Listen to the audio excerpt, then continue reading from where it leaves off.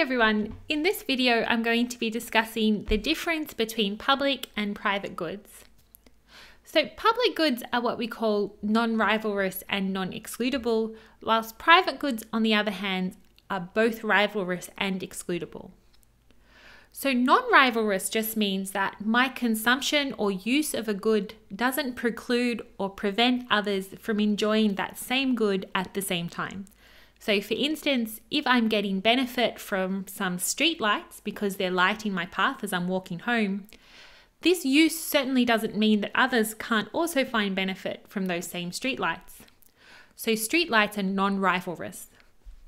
Non excludable just means that it's really hard to exclude other people from gaining benefit or use from a good.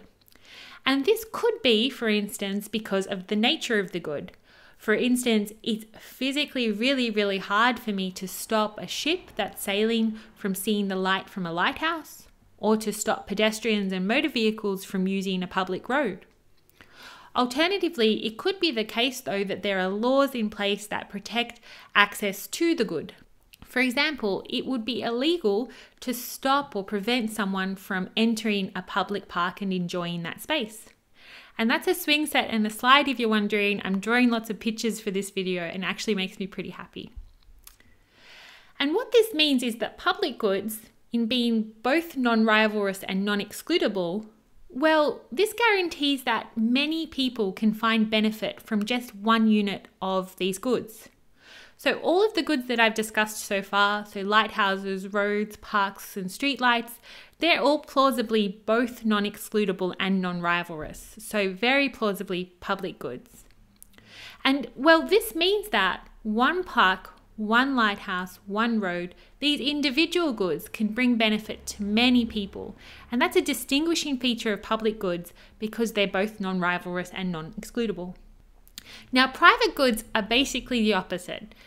If a good is rivalrous, this means that when someone uses that good, it prohibits others from gaining use or benefit from that good.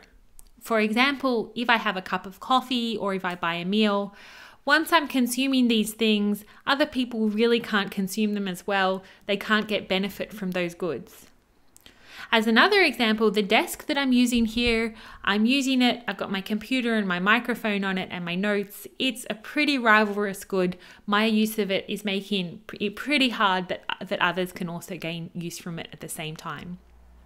Now, if a good is excludable, it means that it's quite easy to exclude people from using that good or to gain benefit from that good.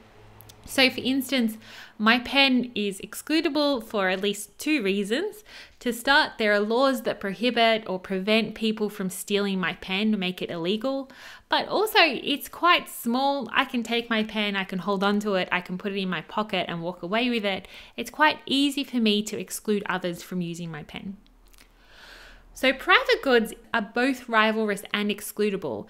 And this means that one unit of a private good, and really of the goods that I've mentioned here, so pens, my desk, a coffee, meals, they're pretty plausibly both rivalrous and excludable, so probably very plausibly uh, private goods.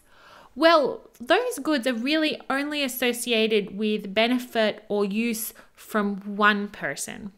And this is really in contrast to public goods, as we said before, where one unit of the good is associated with benefits to a lot of different people. And the differentiation that economists make between public and private goods, it's really because as economists, we're interested in the allocation of our scarce resources. And part of this question of allocation involves comparing the benefits associated with the consumption of a good with the costs of production. Now, in our theory, when we have private goods, well, we really only have to worry about the benefit afforded to the one person, so the single consumer who's enjoying that good. But for public goods, we need to add up the benefit afforded from all of the different people who will enjoy that, that good that's both non excludable and non rivalrous. So that's the difference between public and private goods, and that's kind of why it, it matters. So that's public and private goods. I hope the video helped. If it did, please like and subscribe. I drew pictures this time. Kept it fun for me. Keep happy, everyone. Hope you're doing well.